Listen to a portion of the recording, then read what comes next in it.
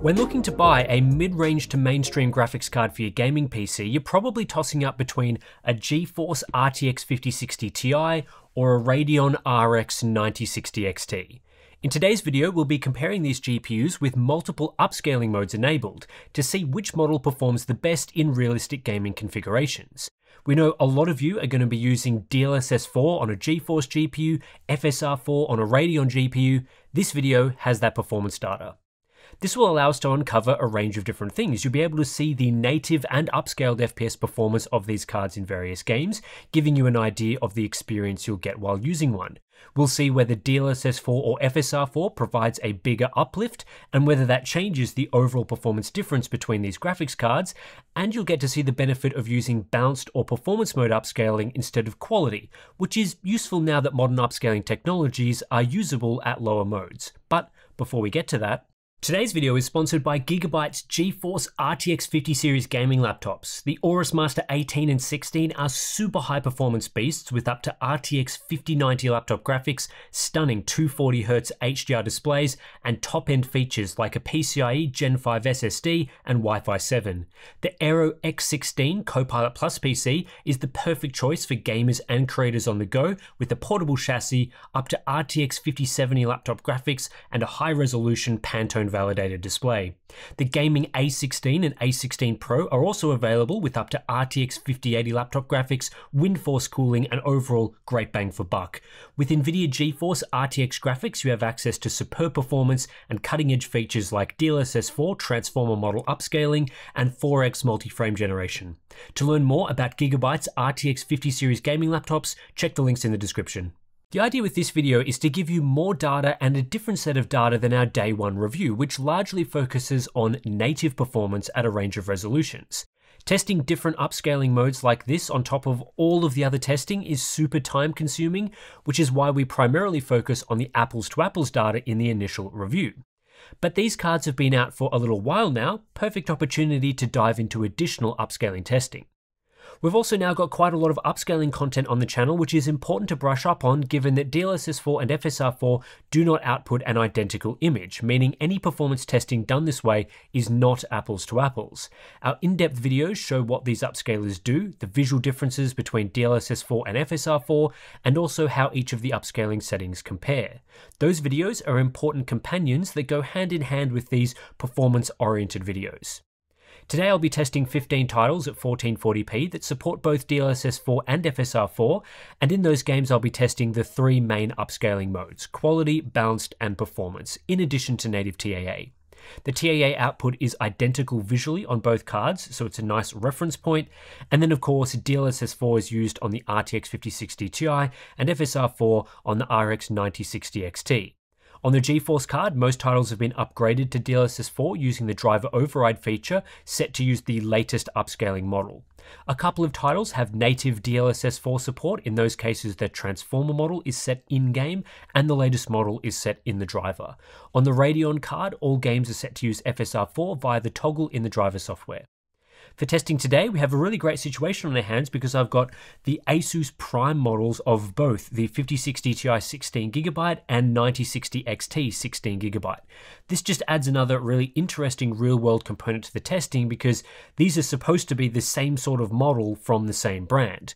The Prime is Asus's mid-range model, better than the Dual, not as good as the TUF Gaming. Both are factory overclocked to similar levels, both have similar coolers and designs. They're not identical, but pretty similar, and the price premium over base MSRP is also similar. In the United States, the Prime 5060 Ti 16GB is $530 US right now, so a $100 premium over the card's $430 MSRP, while the Prime 9060 XT 16GB is $440, so it's a $90 premium over the $350 MSRP. Those are, of course, quite high premiums, but that's the state of the GPU market in the US right now, where neither GPU is available at MSRP. The CPU being used here is the Ryzen 7 9800X3D, 32GB of DDR5 6000 CL30 memory, and the very latest game updates, Windows updates, and drivers have been used. So 577.00 for NVIDIA, 25.6.3 for AMD. Let's get into it. Starting off with Horizon Zero Dawn Remastered, there's very little difference between these models at native 1440p. Those margins don't change much when upscaling either. The 5060 Ti goes from being 3% faster using native TAA to 1% faster using quality upscaling, 2% faster using balanced, and 2% faster using performance. These are all within the margin we deem to be a tie, so on both brands of GPU, quality upscaling is providing a 19% performance uplift at 1440p using using the highest in-game preset.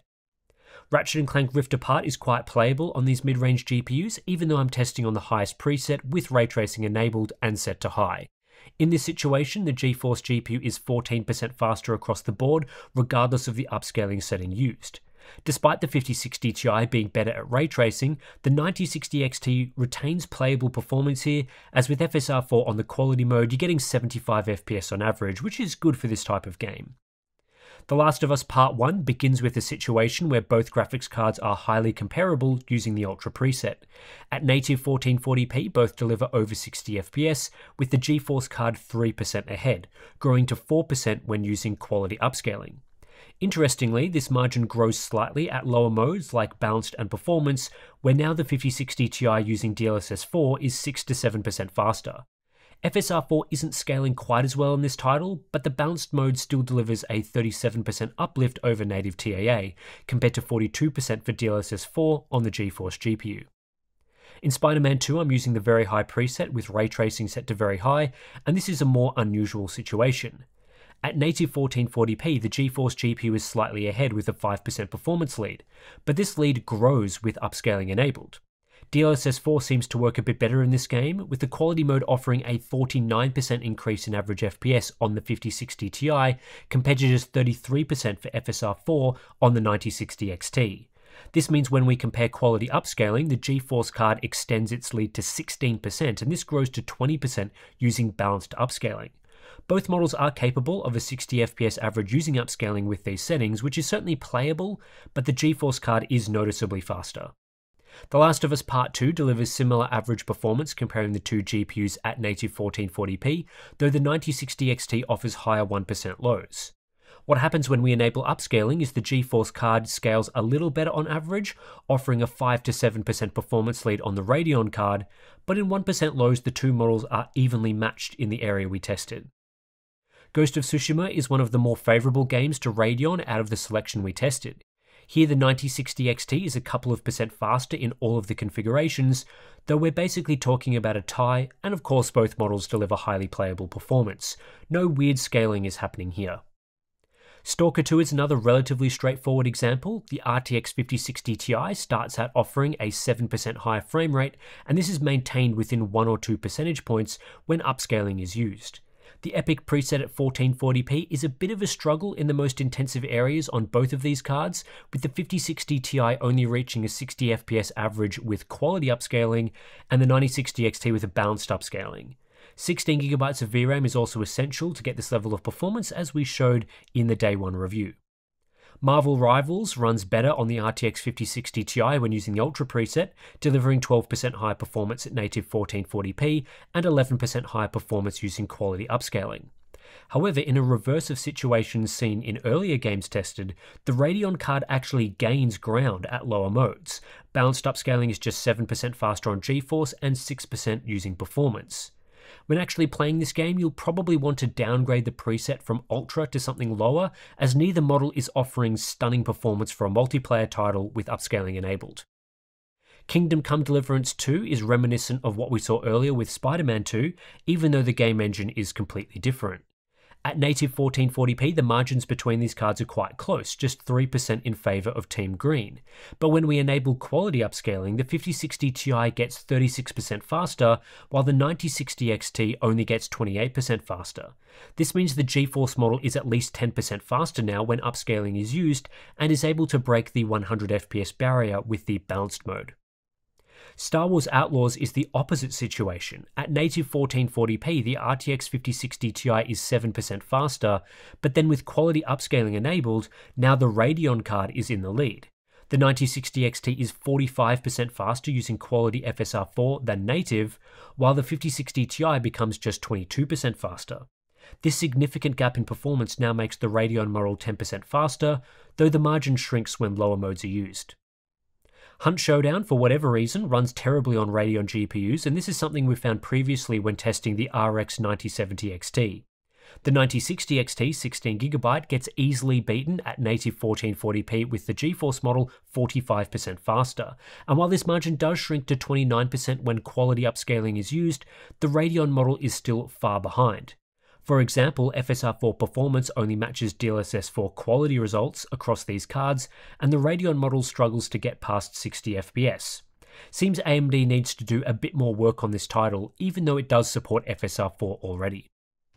God of War Ragnarok performs quite well on both cards, though I'm testing one of the most intensive areas I found in the game, and this does hurt 1% lows for part of the benchmark run.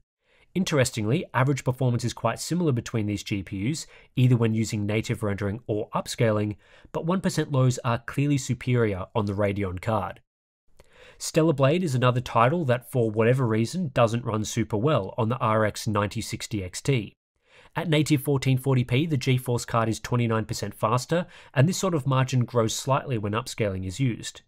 The margins in 1% lows are even higher in this intensive fireball beach area at the start of the game, with quality upscaling on the 5060 Ti delivering 55% higher 1% lows, another title that AMD needs to optimize a bit better. Last game I'm looking at is F1 25. This is another example of the Radeon card gaining ground when upscaling is used. The ultra high preset enables ray tracing effects, and at native 1440p, the 5060 Ti is 9% faster. But when quality upscaling is used, the average frame rate equalizes between the GPUs, though the GeForce model still provides a noticeably higher 1% low. Still, even in 1% lows, the 5060 Ti goes from being 28% faster natively to 14% faster using quality upscaling, so FSR is scaling a bit better there. Here are the average results across the 15 games calculated using a geomean. What's interesting here is that even though we saw a range of different outcomes from upscaling, sometimes the 5060 Ti would get faster relative to the 9060 XT, sometimes the 9060 XT would get faster, on average the margins between the products are quite similar. In this sample of 15 games, I found the 5060 Ti 16GB was 9% faster on average at native 1440p. When quality upscaling is used, the 5060 Ti ended up 10% faster, then 10% faster again using balanced upscaling, and 9% faster using performance upscaling. This is good news for people that bought either of these cards based on day one results benchmarked using apples to apples native rendering. In a real world scenario where someone uses DLSS 4 or FSR 4 upscaling while gaming, the relative performance difference between the cards doesn't change. Now, of course, you could argue that the image quality is different between DLSS 4 and FSR 4, so in some games, maybe quality versus balanced is subjectively closer or a better matchup or whatever. But when we're talking about the same modes, we're getting the same margins. This means the typical performance uplift from enabling upscaling is similar on these GPUs as well. Quality upscaling on average was about 30% faster than native rendering, balanced upscaling about 45% faster, and performance upscaling about 55% faster. This is all from games that run around 60 FPS natively. You can expect a greater uplift coming from a lower baseline FPS and a smaller uplift from a higher baseline FPS. We're also seeing about a 10% improvement when dropping the upscaling mode from quality to balanced, which I feel is the minimum acceptable setting to use while gaming at 1440p with both DLSS 4 and FSR 4. Performance upscaling is 8 to 9% faster again, but more compromised visually. Now you might have noticed that these results are more in favour of the RTX 5060 Ti than our day one review of the 9060 XT, which found the 5060 Ti was just 1% faster on average at 1440p. This is almost entirely down to the game selection, which for this sort of video is limited to titles that support both of the latest upscaling technologies. This sample includes games that run much better on GeForce, like Assassin's Creed Shadows and Stellar Blade, neither of which featured in our day one content. Unfortunately, some of the better Radeon games like Call of Duty Black Ops 6 couldn't be featured here as it doesn't support DLSS 4 right now. Ultimately, these results don't change our thoughts on the GeForce RTX 5060 Ti and Radeon RX 9060 XT 16GB models all that much. With upscaling enabled, the margins between these GPUs remains the same as when testing with native rendering, so no need to adjust any recommendations. The sample of games we tested that support both DLSS 4 and FSR 4 is a little more favourable to the GeForce model than our day one sample of games, but outside of that, these results are as expected. What's good to see is that upscaling delivers very playable performance in a lot of the titles we examined.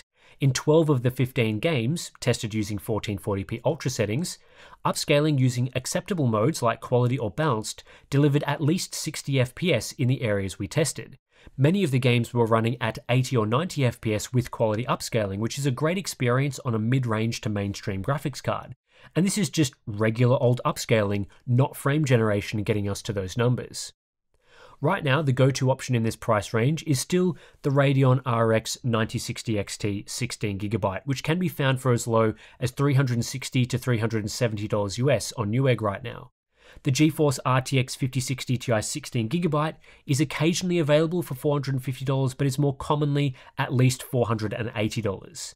This makes the GeForce card 25 to 30% more expensive for best case 10% better average performance as we showed today comparing quality upscaling at 1440p. And I expect the margin to be in the single digits across a broader sample of games.